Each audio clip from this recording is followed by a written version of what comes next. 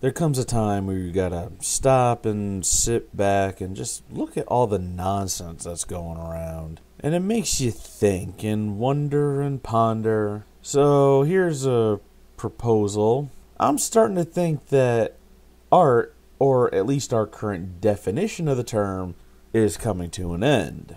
And this rant has two parts to it. One is social justice warrior bashing, and the other is game publisher bashing. We'll start with the SJW part. We seem to have entered this new dark age of people trying to suppress expression. I'm going to take an excerpt from the late Richard Jeni, where he takes a jab at people on the extreme left, and I quote These are the sensitive liberal people who are always yelling about people's freedom of speech and expression, unless you happen to say something that pisses them off. Then they can't wait to tie your ass to the back bumper of a Toyota hybrid and drag it to the Berkeley campus and drop your carcass in front of the Fidel Castro building for the continuing study of why America sucks. When you start dictating to an artist what is and isn't acceptable, or you want them to specifically cater to your needs, you completely undermine the entire creative process. You are destroying an artist's creative vision. In fact, the people who complain about how much they care about freedom of expression and free speech have turned into hypocrites as they only want to be in their echo chamber and not deal with the reality of how the world is. What really inspired this rant was, of course, Polygon. They were complaining about the Han Solo movie in an article where they railed against a photo of the cast being mostly white with one black guy, the person playing the young Lando Calrissian, complaining about how they should have waited until the casting was finished. But is it really that necessary to push that rhetoric? They did it with The Force Awakens with the character Rey, who was very much a Mary Sue type of character which felt pandering. It was still a really good movie, but my issue with Rey is that she was too powerful and badass for her first appearance. Think about it.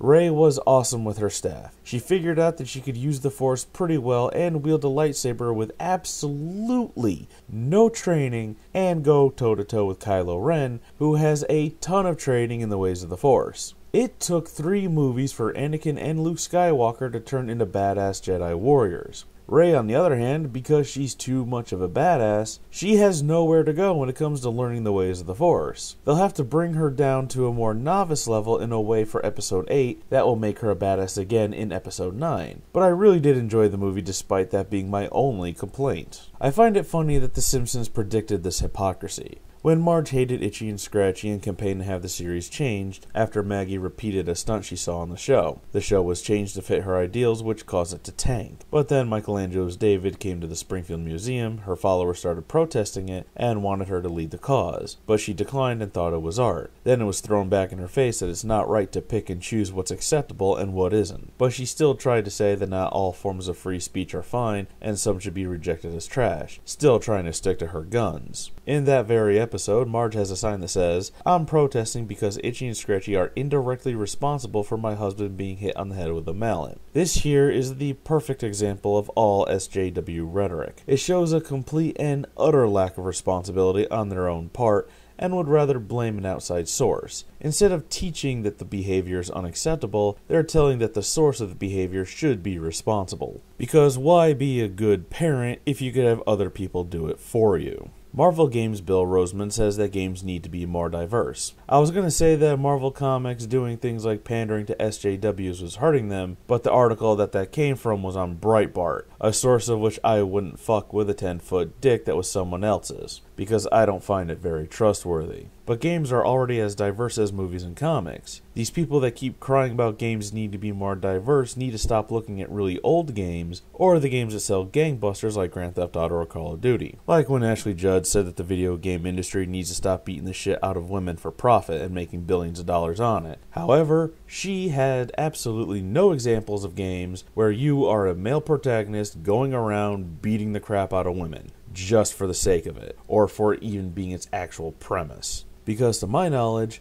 no such game exists. But they don't look at that. They don't look at games like Fallout where you can make your own character, or games like Overwatch where there's a large diverse cast of characters. I just bought Horizon Zero Dawn and the main character is a woman. Where's the SJW singing praises for that game? You want to know what's going to happen? The SJWs will be quiet for a bit, only to wait for the next game oozing with testosterone to be released, so they can continue complaining and ignoring things like Horizon Zero Dawn or even Tomb Raider when when it's brought up. But like I said in my sexism in games videos, it's all just a fad as you can see the signs that it's going away as more and more people get sick and tired of pandering to SJWs and safe space logic. Even recently, it was announced by Blizzard that Symmetra is autistic. Polygon reported on it, because of course, and someone in the comments who is an autistic female said that it wasn't needed, and that all it does is stroke the creator's ego and how accepting they are. That this kind of virtue signaling is more harmful than good, as all it really does is make people feel good about themselves for throwing in token inclusion and that she doesn't need or want representation like that because it's an empty gesture, and she even acknowledged that she wasn't speaking for all autistic women. And of course, all the neurotypical people got on her case about it, saying that she didn't speak for all autistic women and shit like that, which was said that the girl already stated. And of course, it's hypocritical that these are the type of people who love to lick Anita Sarkeesian's butthole, who is a woman that thinks she speaks for all women, despite the fact that many women have said that she doesn't speak for them. But that's how these people work. They want that echo chamber that tells them that they're doing good so they feel good, and anything that can pop that very thin bubble is a threat to their own delusions. But now let's look at publisher interference, which is probably the worst thing that happens. If you looked at early footage for Fuse, which was made by Insomniac Games, it looked very different. It had a more cartoony look, and then the publisher EA forced them to change it into a generic looking shooter. EA did the same thing with Dead Space 3, where they forced that microtransaction crap into the game. Even movies aren't safe with Spider Man 3. Sony Pictures demanded Sam Raimi to include Venom in the final battle because fans would want it instead of setting up Venom for the fourth movie, like Raimi had planned. Then Sam Raimi, Tobey Maguire, and Kirsten Dunst all quit, leading Sony to reboot the series into The Amazing Spider Man. And then they screwed that sequel up too, leading to another reboot, this time being done by Marvel Studios so they could bring Spider Man into the Marvel Cinematic Universe. I get why publishers want to do and mess with the creative vision of people trying to make the game. They have their market researchers watching what's popular so they can get the highest possible return. However, messing with that creative process can hurt the game in the end. Fuse didn't do all that well,